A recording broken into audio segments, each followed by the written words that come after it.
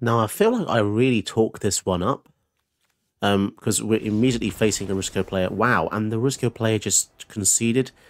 Again, I don't really like to show none games like this, but I just find that incredibly amusing that this was consecutive. I haven't actually had any breaks in game. I've shown you every single game consecutively, and the Risco player immediately quit because they saw a Fynn. What does that tell you about Fynn? What does that tell you about Fynn? Hello, you've caught me again making um, new decks from my friend's account. In, in a way, it's like a secondary account for me, but I'm kind of helping my friend at the same time. So this is going to be a follow-up to the previous video. The previous video, we made a really strong deck for Toski with rares and mythics, and we used all of our wildcards. Now, inadvertently, I thought this would become a nice follow-up video because this is what happens now. What happens when you run out of rare and mythic wildcards. So I've gone ahead and chosen Fynn the Fangbearer as the commander for this video because he's an uncommon and that's going to be very helpful when you want to make a new deck. You don't always need rares and mythics to make the deck really strong. Um, you can you can actually make a very competitive deck. In fact, Fynn is very strong, and the reason he's strong is because whenever a creature with Death Touch hits a player, they get two poison counters. Okay, so I've just been filling the deck with really low, um, really cheap Death Touch creatures. Now, I encountered another issue because not only are we, are we low on rares and mythic wildcards, we are also very low on common and uncommons. We can have 10 commons and 2 uncommons. So I'm having to be very picky with what I can actually unlock. So if you do want to join along and make this deck, you will need no more than a dozen or so to start with obviously you will have in your own collection a number of Death Touch creatures that are rares and mythics. That's pretty much going to be inevitable just because you, you must have opened a few by now. And if you haven't, then just work your way up to it. Some of the really good mythics and rares with Death Touch are Ronus and are um, Axebane Ferox, Questing Beast, Saurith gives your other creatures Death Touch. This is kind of useless in the deck because your creatures going to have Death Touch anyway acidic slime's really good as well. So remember these ones. And as I said, we don't have any rare or mythic spares. So when I put in something like Ronus, just find an, a replacement for it. We want to have a few because budget doesn't always necessarily mean zero rares and mythics because there will be some of you out there which have a few, as I said. So yeah, we're, we're going to pop in Ronus here, but just think of this as a placeholder if you don't have one. I want to get the biggest edge I can possibly get from just the little um, selection I have. Got Axe Axebane Ferox, so two rares. The mana base is very cheap. It's literally 40 forests. And yeah, we're going to want... I mean, Fynn is probably going to be doing the most amount of work here. Because it's his ability after all. Um, so what I'm just going to quickly do now, so that's got backup one and death touch. That's actually pretty good as well just filling the deck with as much synergy as possible. Oh, we just get Death Touch. Another creature comes in, this gets Death Touch. Hmm. Let's just craft what we have. So this takes a bit of confidence. Some people might not like crafting until you've actually, you know, had, had to think about it, but I like to just see what we're working with. We've got two more commons we can craft. Okay, so two mana, two, two, Death Touch. Yeah, I think we'll go for this this one here. The reason we're going very low curve is we want it to be super aggressive. Are there any more... I've never been in a situation, by the way, where I've never had any wildcards whatsoever, and we're about to encounter that. So this is where we kind of hit rock bottom. One more common. Um, I guess we'll go for... Oh, it's, it's very tricky here. Two mana, one, two death touch, or two mana, one, one. or I don't know. I really don't know. Um, we'll just go for this. Okay. So let's get that out of the way. We definitely needed those because we definitely needed. Don't have enough wild cards. Two common. I've got two commons. It says two commons. Why is that not letting me unlock this? Craft. Okay. Fair enough. It would not let me do it in the once it's in the deck. And there's one there as well. Oh, that's an uncommon. That's an uncommon, guys. Fine, we're going to have to put this scorpion in. Right.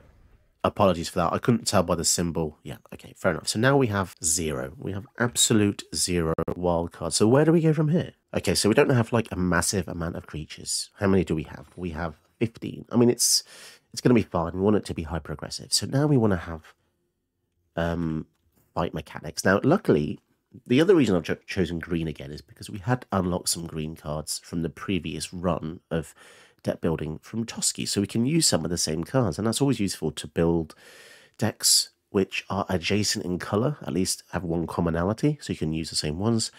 So we're going to put in the same things with fight, which is always really nice. Remember, we have no wild cards left. We are just using the things we have. So it might help you watching the previous video to show you what I did there.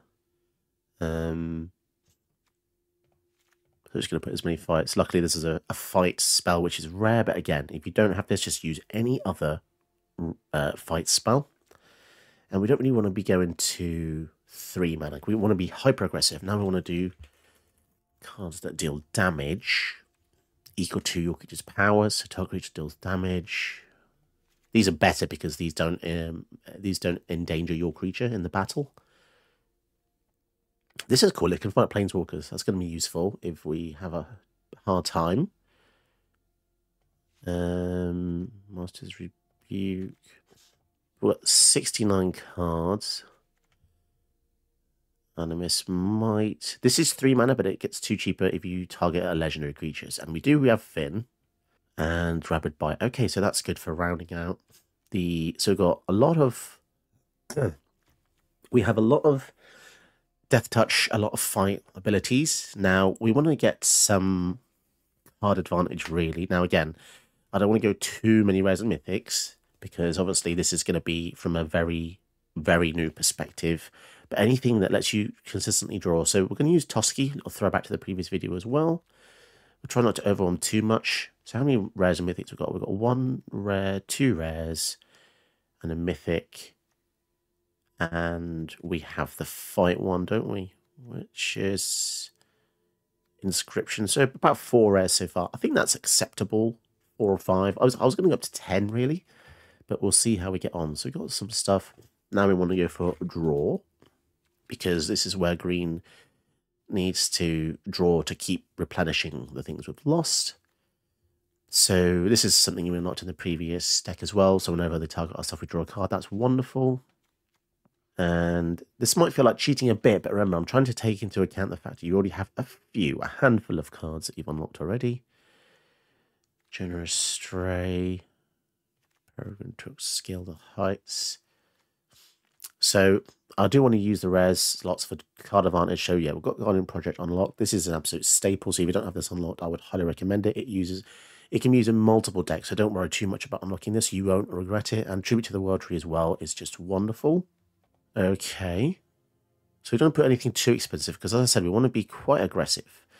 So now I've kind of run out of the stuff that I want to use. So when you get into the situation where you completely kind of blanked on what you can use, I would just filter by all the green cards you, you own. Okay? And then now from here, we're just going to try and see what value we can get. A bit of value. Um, you can see the curves really aggressive so far. So as I said in the last video, Elvish Mystic is always good to just do a bit of ramping, even though it doesn't have Death Touch. We've got Llanowar Elves as well, which has the same thing. Utopia Sprawl. Anything that can progress you a bit further. Haywire Mite might come back to that just trying to see what we have. Broken Bond, that's nice to destroy an artifact or enchantment. Attractor's Fall, same thing here. Again, these are all commons and uncommons that I'm choosing at the moment because I'm trying to be, you know, I'm trying to keep it low to the ground as much as possible, apart from the bends, the slight bends. So emergent sequence gets a land into play with a counter. Glimpse the core does as well. Again, Canker Bloom, we'll come back to that. It's part of the creature subset that destroys stuff if you pay extra mana into the north. That's nice. Lotus Cobra, I don't think it's too necessary in the deck. It does ramp you a bit, but we're not really ramping too hard because, you know, we've got a lot of aggression here on the low end. Ranger class might be nice. Make sure creature's a bit bigger, gives you wolves. wolves. But again, it is a rare. Sylvan Anthem I do like that in this deck because this deck's going to be very, very low to the ground. We'll come back to that again. Don't be too scared of coming back to stuff. I think having one cultivate is nice because if your Fynn dies, you're going to want to recast them again anyway. So it's nice to just have a bit of range there to go a bit late game. Manglehorn, I do like this to destroy. It's only destroys artifacts, but the artifacts also come in tapped. I, I do like creatures with stuff loaded onto them. And then Rex Sage, I do like that as well. Settle the Wilds might not be so good here because our curve's not too high. Planeswalkers will come at a premium. Most of them are mythic. If you have any, try to put them in, I guess. Um, again, I don't want to overwhelm too much. Not hit the quota of 10 yet. And then, yeah, now we're going into expensive territory. So although we have good cards on the high end here, we do want to keep it low. Because the whole point of Fynn is we want to survive the early game as much as possible and win very quick. We don't want to bog the deck down with loads of expensive things. Saying that, I mean, we have a Garruk unlocked. We can put one in. Having one Planeswalker should be fine. And I think we're going to go back to those artifact and enchantment, in, sorry, artifact and enchantment killers. Um, so what did we have? It was what was it again? Uh, Outland Liberator. We'll put the Sylvan Anthem in here. We'll count the rares and mythics at the end. I want to keep them underneath ten. But yeah, it's it's pretty rough to go to exclusively commons and commons. I was thinking about doing the video like that, but I thought it'd be a bit of a disservice because it just wouldn't just wouldn't hit right. I mean, it depends how much of how much bravado you want. You could say, "Oh yeah, I'm winning with commons and uncommons." Yeah, that's all good and well, but no one else is going to care. This is from a purely budgetary standpoint, and obviously, if you want, if you have played a few games, I'd say most people that are watching this have probably played a few anyway. So you probably have a few unlocked. Something I would like is I don't know have any unlocked. Is a way to just give hexproof, toxic against hexproof, plus two, plus two. If enchanted creature has toxic against hexproof, so we don't have Toxic, but we do have some with Toxic in the deck. Mm, I don't really like that, to be honest. If our commander had hex, uh, Toxic, I would. So now we need nine cards. We're getting we're getting to a good position here, where we're going to be able to just get a game in and see how how well we do. Um, maybe we do put the Cobra in. I don't know how useful is that going to be. Maybe it just we're just kind of running out of cards, aren't we? Um, return a permanent card from gravity to your hand. That could be okay. Or we could even go for this frog. I mean, you have to pay to give it death touch, but it does tap for mana. So um, yeah, okay, we'll put the frog in. Frog seems fine. I don't know about this. I'm going to put Ranger class in because running out of options. Maybe Titanic Growth just for lols. I mean, this is so it's decent. Majesty. This draws cards only if your creatures have four greater. Not so hot. Each forest you control. I mean, this could be a win con. Blanchwood armor. This this has killed people before. Let's just put one of those in for fun. Return card from gravity hand, and it's tap. Yeah, it's fine. That taps for a land. Well, it can become a land as well. Five left. We're so close, guys. Maybe we need more Death Touch creatures? Not not sure now. Starting to doubt myself. Provisioner, that's good. Sentinel's okay as well. Ideally, we'd have more Death Touch, I suppose. Something something to give First Strike would be good, I suppose.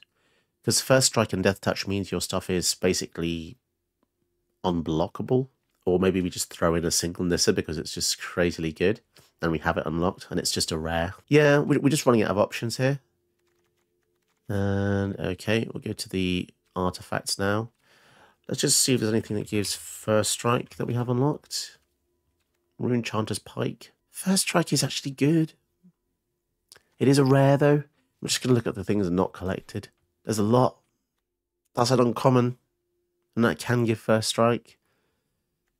We do have them at lower uh, that's not quite it. Yeah, I guess it's a bit of a premium, isn't it, First Strike? Well, that's a common. How many instances of sorcery do we have? We have 23. Uh, fine, we'll put the Chanter's Pike in. It's a bit weird, it's a bit different. And what else can we have? Soul Steal, this is actually incredible card. Yeah, we're definitely going to put this in. It's got Trample as well. Shadow Spear gives Trample. And we've got one more card left. Arcane Signet. Okay, let's quickly review. I wish there was a way to check how many rares and mythics you actually put in. That would be a really good counter. But they don't have that counter in the game. So I'm just going to quickly eyeball here. So I've got one, two, three, four, five, six, seven, nine, ten, eleven, eleven, twelve.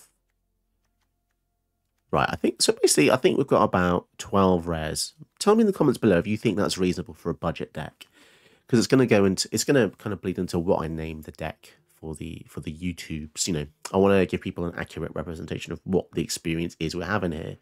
12 rares, I think that's fine, considering we opened what 30 packs yesterday, and um, well, it won't be a say to do to you, but and we did get a hell of a lot of rares. So considering this is a leftovers build and it's got a very different feel to Toski, it's a lot more aggressive. I think that's fair.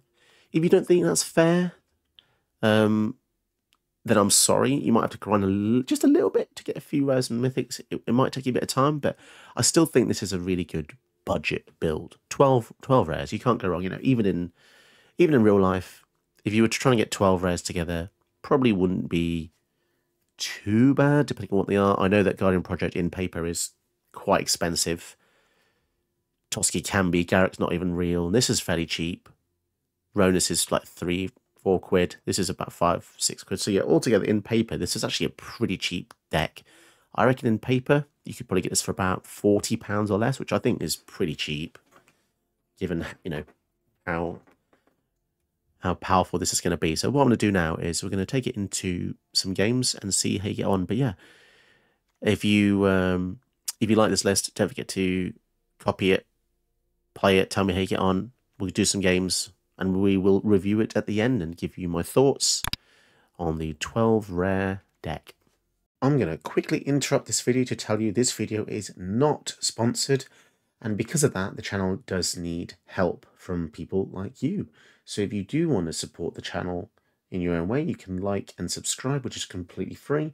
But if you want to go the extra mile, you can donate to the channel via my Ko-fi link below or become a channel patron. And if you become a channel patron, you can get a custom video of your choice. Check out the details below. So just consider this. This is the fourth ever game on this account I've ever played. Or my friend's account. Now, I don't know how many games he's played. Probably not much at all.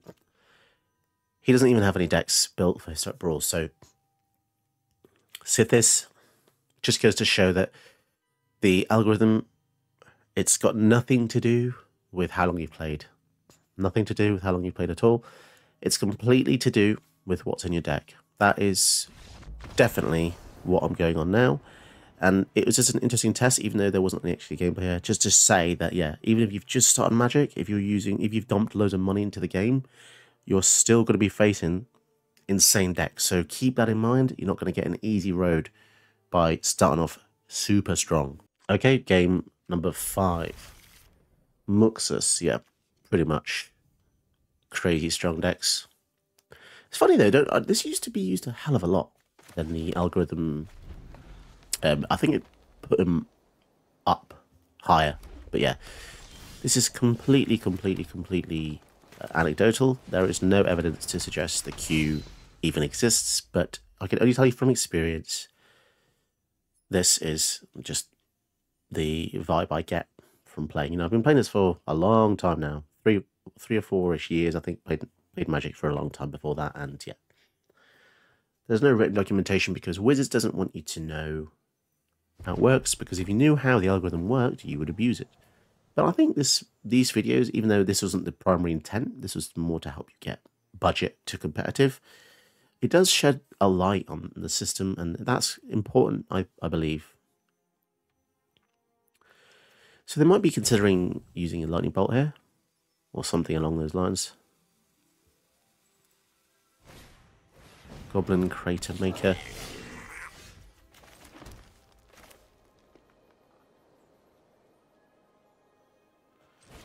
Yeah, let's kill it, just for the sake of getting out of the way. Gaining 2 life is actually legitimately good against red, because you just never know when a bit of extra life is going to come in handy.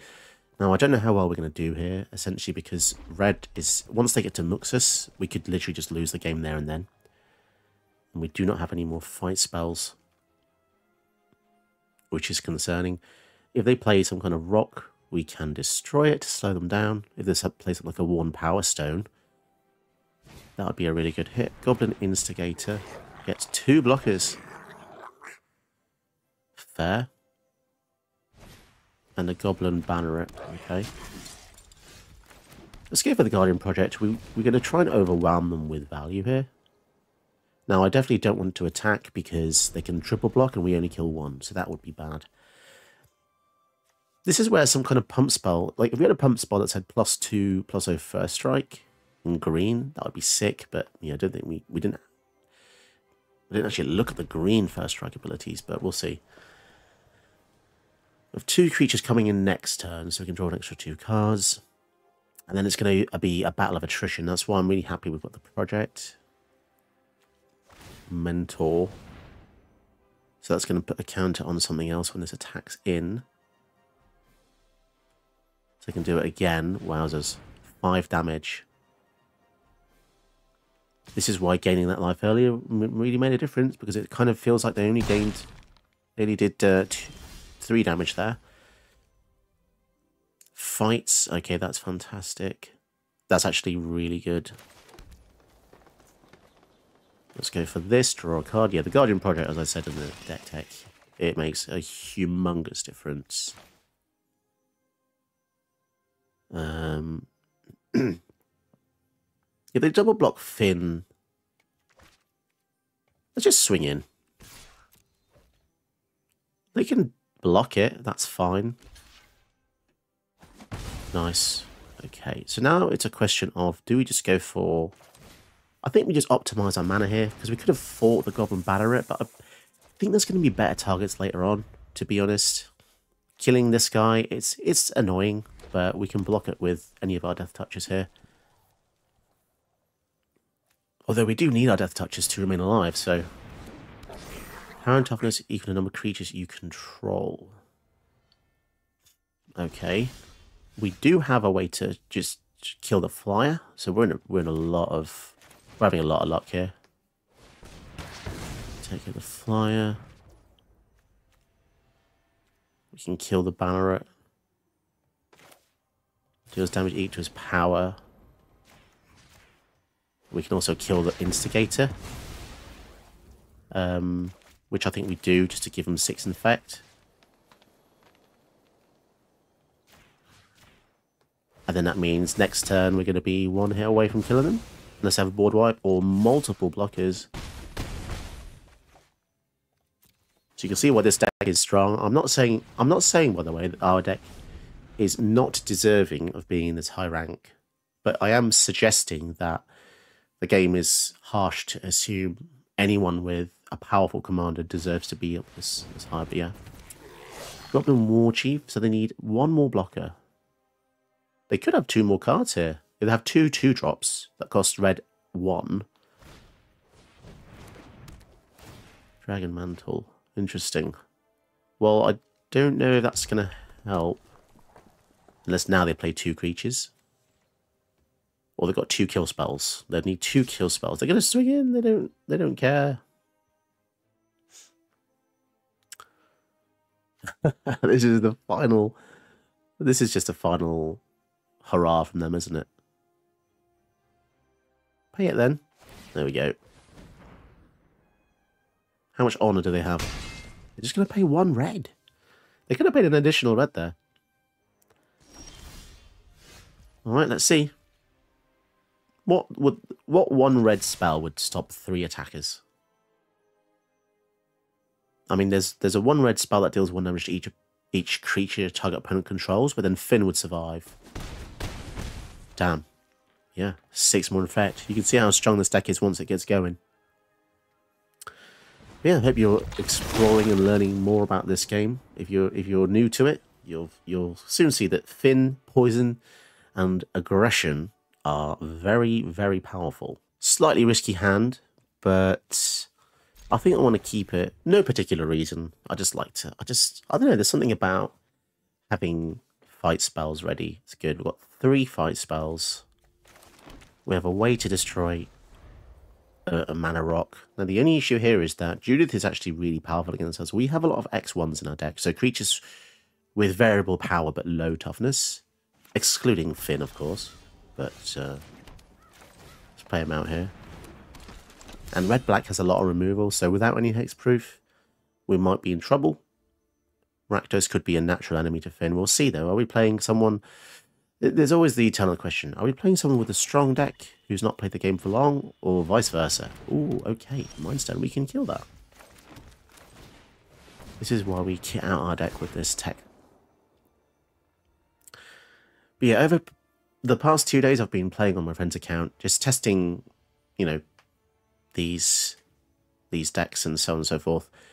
And um, is it going to be another Roper? It is interesting the statistics and data I'm finding, finding that there's a lot of people using powerful decks no matter their skill level. And it's very, it. I understand it's very abstract and nebulous to kind of speak of someone's skill level when I can't see them. I've only had one game with them, but there's a lot of telltale signs. It's like it's like if someone was a professional sportsman and you just played a game of basketball versus somebody for the first time, you'd know if they hadn't played very long. You just know, and it's the same here. It's just certain moves, certain interactions. There was a move against the Sauron player in my previous video, which you should definitely check out. The Toski video, please watch that. It's the part one of this. They did some weird moves, like they did an Alpha Strike. And Alpha Strike is when someone attacks all their creatures. But they didn't care about their own life by leaving no defenders behind, it means that I had the open window to kill them. So, yeah, you have to, have to be very cautious. And now we've got an Axebane Ferox. We are just going to go full, full ham here. We don't even care about losing the Rex Sage. They can't tackle the Fynn. Fynn having three toughness is actually, it really makes a huge difference. Really does. And the shield and the artwork actually reflects that really well for a change. You know, flavor and rules flavor and rules combining together makes for an ultimate experience. You know, sometimes you just have a creature on the artwork, you think, like, what's that guy doing? But yeah, he has an axe, probably dripping with poison blade attacks, and a shield to give him the three toughness. It's pretty cool. This guy, this guy draws you a card of life. It doesn't correlate with the artwork unless you want to kind of abstractly think that he's going through a door, he's finding new information. But why losing a life? I get why in terms of the colour pie. Black always draws and loses life. But in terms of flavour, maybe he stood on a trap. Finding information. It's kind of interesting to delve into it. It's very deep, but that is this channel. This channel is a lot deeper than others may presume. Um, yeah, so from the card selection I'm seeing so far, although we are also using commons and uncommons, there doesn't seem to be too much of a correlation here, but also combining that with the speed in which they're playing, it's giving me a few interesting tidbits of information. So we could kick this, put two counters and fight. Let's just do that. I'll choose any number. You get to do all of them. That's pretty crazy. So two counters on here, and then we gain the life, and then we'll have. Uh, yeah, we'll have that like this. So that will actually die, sadly, because of the death touch. So I should have actually done the Rex. Yeah, that was silly of me, but yeah. I mean, you could say I made a stupid mistake there. Yeah, it was a stupid mistake. I completely admit that. But yeah, losing the Ferox, I completely forgot that death touch. Yeah, fair enough. That might have actually cost me the game. But we'll see. We'll see. It doesn't matter there's me talking about people's skill level and I make a stupid mistake. it's the universe telling me to shut up, basically, isn't it? There are eight poison, though, and we have three fight spells. So they really just need a um just a kill spell, to be honest. And if they don't, then we win, maybe? I don't know. It is a bit gutting. that we did not acknowledge the death touch. Can we survive past it? We hope so. They're going to blitz. Now, blitzing suggests that they're going to attack. Um,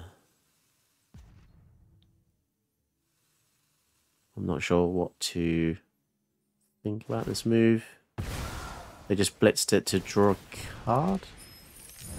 Maybe they have a kill spell now to kill the Fynn. Maybe that was a genius move. Doomblade? Power word kill? No? Let's see what happens if we attack. If this gets through, they just die. Oh, man. I feel bad now.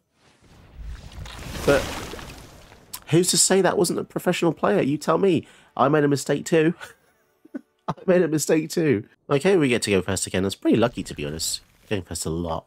And we are facing another high-level commander. Let's see if um, how we get on here. Hopefully we don't make any mistakes. So this in total is game six or seven, I believe. Okay, so Tatyova, the reason she's strong is, well, not only because she's an uncommon, is because she rewards you for doing things you would do anyway, and any commanders that reward you for doing literally no extra thing is really strong. And uh, that's why cards like Rusko, if you've seen Rusko, are very strong, because it rewards you for playing non-creature spells, which is what Dimir players love to do. And Tatyova rewards you for playing lands and fetch lands, which is something that Simic players love to do as well. And drawing a card is already good, but the life on top of that, it does stack up. It really does. Now, there is something to be said about playing fetch lands before the commander's out. There's this push and pull, and I always find this separates players from being excellent to being not so great. Sometimes it's exactly the same as when you get a um, Tergrid player. So Tergrid is a five mana commander that cares about whenever an opponent discards or sacrifices, you get the thing, you get the permanent if they sacrifice it or discard. But a lot of Tergrid players, they will play all the discard effects before Tergrid actually comes out. So they're losing all the all the synergy. Now in this case it is unfortunate that the opponent didn't want to continue playing, but yeah, again this goes towards the data that you get from this video. We're just playing more high tier commanders. Moving on to the next one. Now, I feel like I really talked this one up um, because we're immediately facing a Rusko player. Wow, and the Rusko player just conceded. Again, I don't really like to show none games like this, but I just find that incredibly amusing that this was consecutive. I haven't actually had any breaks in game. I've shown you every single game consecutively, and the Rusko player immediately quit because they saw a Fynn. What does that tell you about Fynn? What does that tell you about Fynn? Okay, so this is the next game we're actually going to go second for a change, which is fair enough. We've been going first quite a bit now. This Sigarda has Hexproof. We're going to struggle to kill this. Um, I mean, we do have a hell of a lot of fight mechanics, but I feel like it's just not going to be a very good start if we can't target their stuff. Okay, this one is, I don't know. I don't have very high hopes for this game against Sigarda. Serra Ascendant. We're going to I think this could be the game we get taken down, guys. With the freaking Serra Ascendant. Although saying that, lifelink is meaningless against us, isn't it? Lifelink is kind of like meh. We'll just ramp a bit here because in the next turn we can go for Fynn and then fight something anyway. Um, Darien, oh my goodness me. This is the first player and deck of six. So this combination of player and deck skill. This is high. This is high, man. Right, let's see if we can just deal some, do some dirt here. Feature tokens. Okay, so how many fight spells we've got? We've got two fight spells. So we can make him indestructible. Kill the King Darien. I want to say King Durian. Some of you might not know this, but I am half Thai, and in Thailand we like durian fruit. So a little nugget of information for you there. Uh, plus five, plus five, flying. I think we want to kill the Ascendant because I don't want that boost. Once it gets to 6-6, that is going to be tricky. Okay, now... Okay, we've taken care of two high power things there. Can we go further? Cathar's Call. Uh, what does it say? create a human. So they're going to have Sigarda next turn, and that's where we start pooping ourselves. Deals damage equal to its... Yeah, okie dokie. Let's do that. So the only problem, to be perfectly honest with you, is the fact we're not going to be able to deal with the Sigarda. So at that point, it is a race. It is a race. Um, so we either cultivate here or go for the Tajuru. I think I want to go for Tajuru because we want to... We do have an infect clock here. Can we take down this player? So is it going to be... Is it going to be... Are they going to block? Let's find out. Oh boy, they don't care. They've got absolute testicles here. Which is ironic for a female angel, but I don't know, maybe she has testicles. Um Okay, so if we had another creature to play here, that would have been absolutely sick. But yeah, it's a shame. If they have a huge aura as well, we're absolutely screwed. All the glitters. Okay, 6-6. Anything else?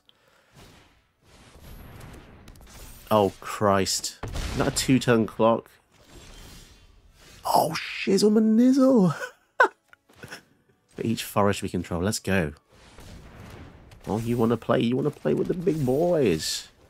Now we're going for Infect and Regular. Oh, goodness me. So we literally have... Depending on what this... Oh, my goodness.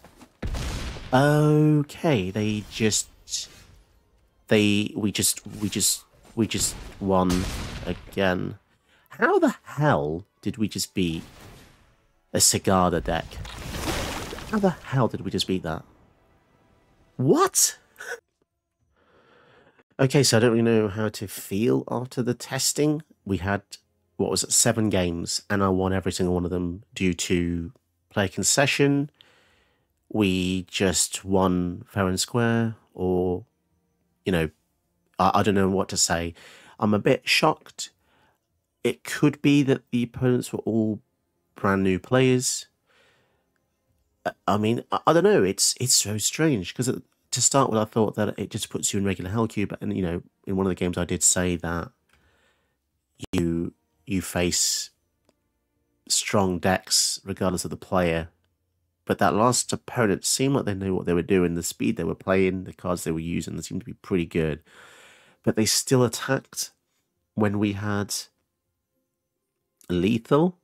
I'm finding that to be a common thread amongst new players. So if you are a new player, I will tell you this. This is the most important thing I can say to you is look how much life you have.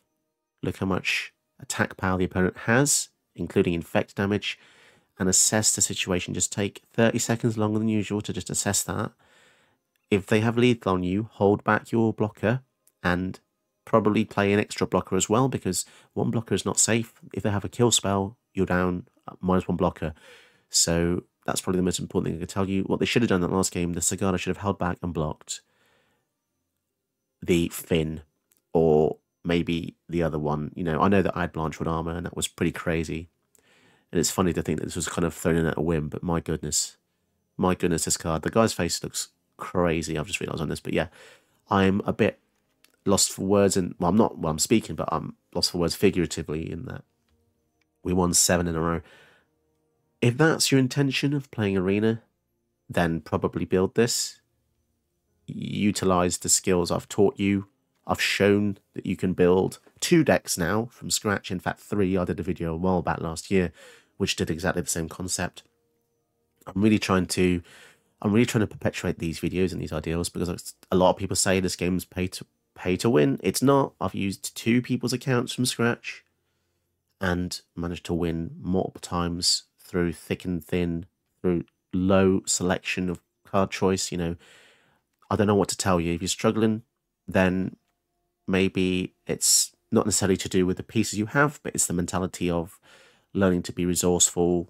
Check out more of my training videos. I think there's a lot to be learned here.